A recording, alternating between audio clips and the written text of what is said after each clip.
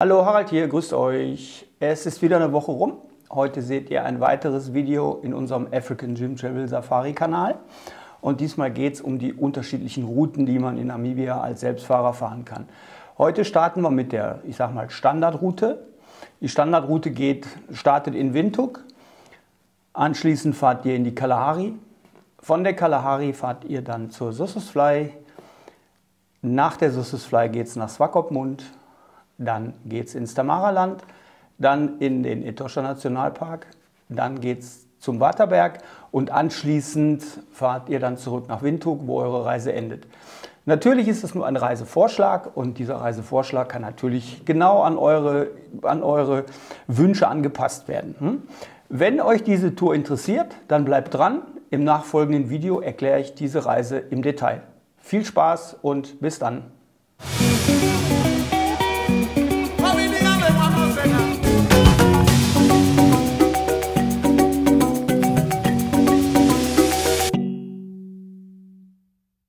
Hallo, wie im Intro gerade angekündigt, erkläre ich euch jetzt die Standardroute durch Namibia, die eigentlich von den Leuten, die das erste Mal nach Namibia kommen, regelmäßig gefahren wird. Natürlich ist diese Tour an eure, an eure Bedürfnisse anpassbar. Also wenn ihr jetzt nicht, nicht zwei Tage in der Kalahari sein möchtet, dann geht ihr halt direkt in die Sussus Fly. Oder es kann alles geändert werden, aber das, sind so, das ist so diese, diese Route, die wir als Standard oder beziehungsweise aufgrund unserer Erfahrung eigentlich jedem Kunden empfehlen können, der das erste Mal nach Namibia reist. Natürlich auch Leute, die öfter schon in Namibia waren. Die Route ist einfach toll. Ähm, wie gesagt, die Route führt, geht in Windhoek los. Ihr landet dann halt meistens dann morgens in Windhoek. Euer Guide holt euch ab, beziehungsweise ist ja nicht euer Guide, sondern Katja oder Bianca holt euch am Flughafen ab und ihr übernehmt dann euren Mietwagen. Ne, die Mietwagenübernahme ist dann meistens entweder bei uns im Büro, wenn ihr einen Mietwagen von uns mietet, oder ähm, wenn ihr bei anderen Vermietern mietet, ist es dann halt in Windhoek an anderen Stellen. Wenn dann die Mietwagenübernahme erfolgt ist, und jetzt wird euch alles erklärt, wie es funktioniert mit dem Auto, High Gear, Low Gear, Vorgelege und so weiter und so fort, geht es dann im Prinzip schon los. Dann werdet ihr auf Namibia losgelassen. Ihr werdet wahrscheinlich dann erstmal zum Einkaufen fahren in Windhoek. Katja kann euch da Empfehlungen geben, wo ihr eure Einkäufe tätigen könnt. Und dann geht's los.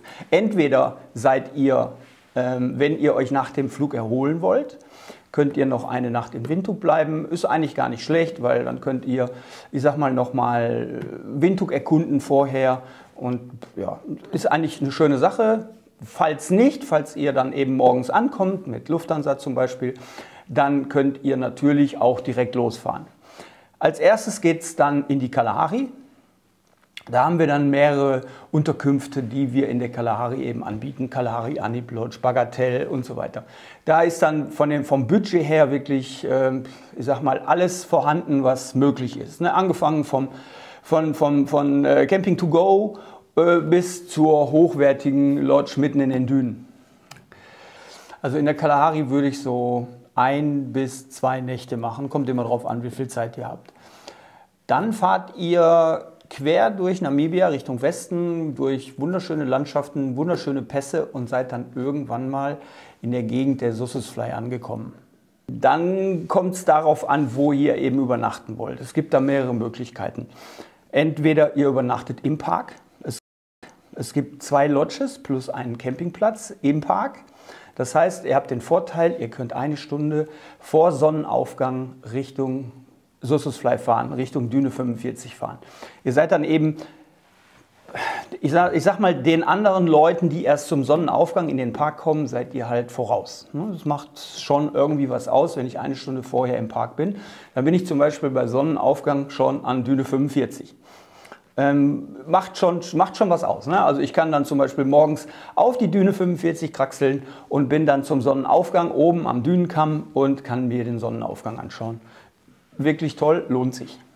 Danach fahrt ihr wieder zurück und fahrt dann Richtung Sussusfly, guckt euch die Big Daddy an, guckt euch die Elim-Düne an, dann auf dem Rückweg könnt ihr dann zum, zum Sesriem Canyon fahren und wenn ihr, ich empfehle dann eigentlich immer so zwei Nächte an diesem Platz. Ne? Ihr kommt ja dann, ihr kommt dann mittags an, wenn ihr aus der, aus der Kalahari kommt, kommt ihr mittags an und ähm, habt dann eigentlich nicht mehr ganz so viel Zeit, irgendwas zu machen. Am anderen Morgen könnt ihr dann schön früh losstarten, je nachdem. Entweder seid ihr außerhalb vom Park oder innerhalb vom Park, das entscheidet euch, das entscheidet ihr dann.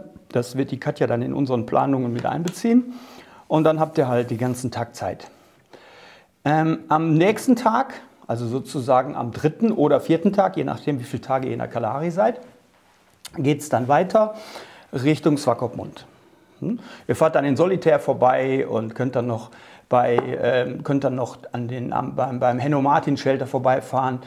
Ähm, im, im Kusep Canyon. Dann fahrt ihr weiter Richtung Wolfis Bay. Wolfis Bay könnt ihr euch die Lagune anschauen, wo sehr viele Flamingos brüten. Dann fahrt ihr dann irgendwann nach Swakopmund. In Swakopmund empfehle ich eigentlich immer so zwei Nächte auf jeden Fall. Da gibt es dann auch wieder verschiedene Möglichkeiten von Unterkünften, angefangen von ganz, ganz kleinen, günstigen Gästehäusern bis, ähm, bis zu etwas teureren Lodges, die dann eben in Swakopmund bzw. etwas außer, außerhalb sind.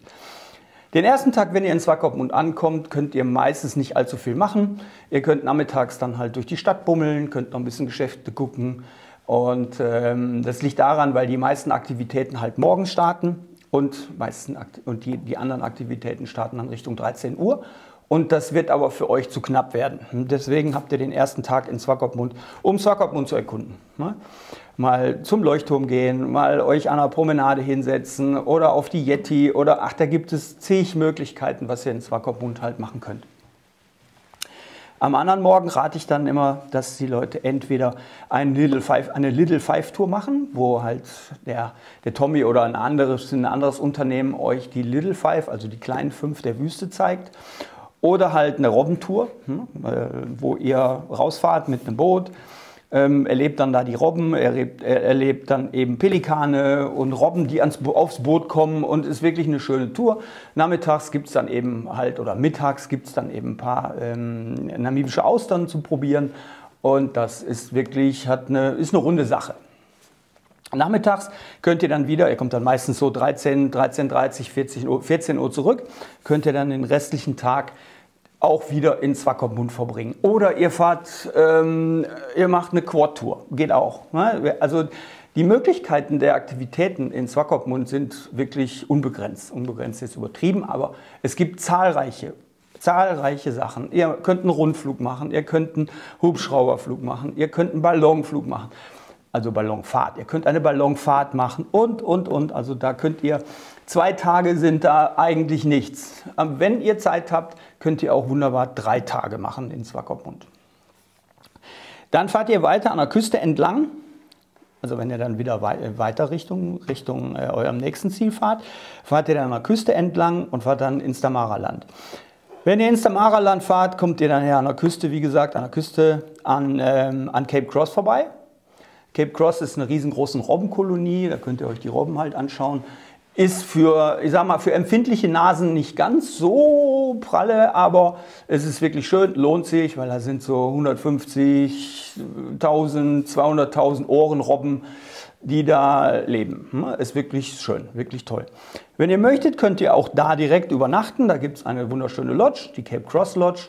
Die meisten Leute machen es aber nicht, sondern fahren dann weiter ins Damara-Land.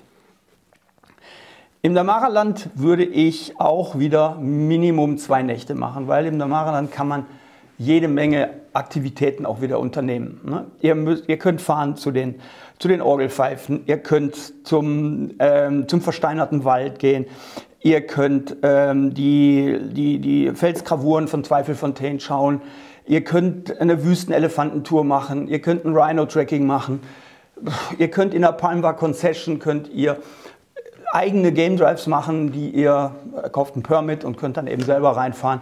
Es ist wirklich jede Menge, was man eben da im Damara-Land sehen kann und erleben kann. Im Damara-Land gibt es auch wieder Lodges von, ich sag mal, von 60 Euro aufwärts bis 600, 700 Euro. Hm? Da ist dann halt, das liegt dann ganz an euch, wie ihr wie ihr, äh, ja, welches Budget ihr habt, ne, was ihr ausgeben wollt. Camping geht auch wunderbar, dann seid ihr natürlich unter 50, 60 Euro. Und könnt dann da Minimum zwei Nächte sein. Nach dem Damaraland geht es dann halt meistens in den Etosha Nationalpark. Da geht's dann auch wieder, kommt es dann auch wieder darauf an, ob ihr, je nachdem wie viel Zeit ihr habt, entweder fahrt ihr im Westen rein und seid dann im Dolomite Camp. Da würde ich eine Nacht machen. Dann fahrt ihr durch den Etosha Nationalpark Richtung Osten, kommt dann irgendwann mal äh, nach äh, Okaukeju. Da würde ich zwei Nächte machen. Und wenn es dann, dann könnt ihr weiterfahren Richtung Namotoni. Da würde ich auch ein bis zwei Nächte machen, je nachdem, wo euer Fokus liegt. Ne? Wenn der Fokus auf Tierbeobachtung liegt, dann würde ich halt überall zwei Nächte machen, beziehungsweise vielleicht im Dolomite Camp nur eine Nacht und dann im Okaukeju 2, Namotoni 2. Das liegt aber ganz an euch. Ähm, da kommt es auch wieder darauf an, was, ihr, was euer Budget hergibt. Ne? Also, sag mal, Dolomite, da ist, keine, da ist keine Alternative, weil das ist die einzige Lodge, die im Westen ist. Wenn ihr im Süden vom Etosha seid, also in der Nähe vom Okaukeju, da gibt es auch wieder Lodges von bis. Schön ist natürlich, wenn man im Park wohnt, im Okaukeju zum Beispiel, da gibt es dann auch verschiedene Zimmerkategorien. Allerdings muss man da auch immer ein bisschen gucken, das ist ein staatliches Camp und im staatlichen Camp ist vielleicht nicht vom Service her ganz so wie ein, ich sag mal, ein privat betriebenes Camp. Aber man ist mitten im Park. Der Vorteil ist, man kommt direkt bei Sonnenaufgang, kann man reinfahren in den Park und kann dort seine Game Drives machen. Hat natürlich Vorteile. Wenn ich außerhalb vom Gate bin, dann muss ich erst wieder eine halbe Stunde fahren, bis dann irgendwo die Action ist. Aber das liegt dann ganz an euch. Die Tour wird so, so gebaut, wie ihr es wollt. Wenn ihr dann eure drei, vier, fünf Tage im Etosha Nationalpark gemacht habt, dann geht es dann zum Waterberg.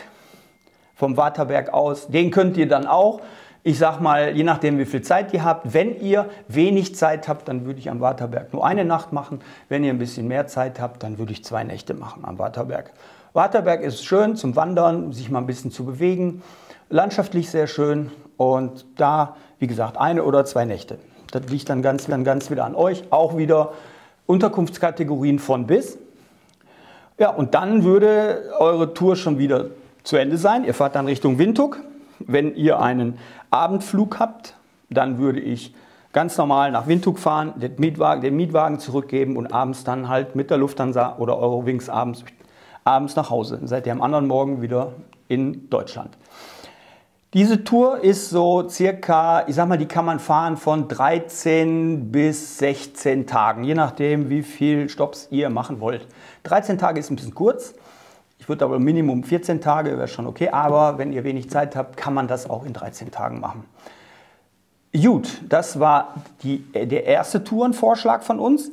Nächste Woche habt ihr den zweiten Tourenvorschlag. Da geht es dann halt um die Erweiterung dieser, Tür, dieser Tour Richtung Süden, also Richtung Fish River Canyon, ähm, Aus und so weiter und, und Lüderitz und und und. Aber dazu im nächsten Video. Eins möchte ich noch sagen. Wenn ihr also regelmäßig über unsere Videos informiert sein wollt, dann abonniert diesen Kanal. Ne? Den Button habt ihr in diesem Video ab und zu mal gesehen, oben rechts. Ähm, abonniert das Video, vielleicht liked ihr das Video, vielleicht schreibt einen Kommentar drunter, würde uns echt freuen, damit wir sehen, dass unsere, dass unsere Sache, die wir hier machen, auch Anklang findet, dass ihr es gut findet. Und wenn ihr es gut findet, dann machen wir es halt immer weiter, immer weiter. Ne? Und ähm, ich wünsche euch auf jeden Fall einen schönen Tag und sag mal bis nächste Woche. Bye bye.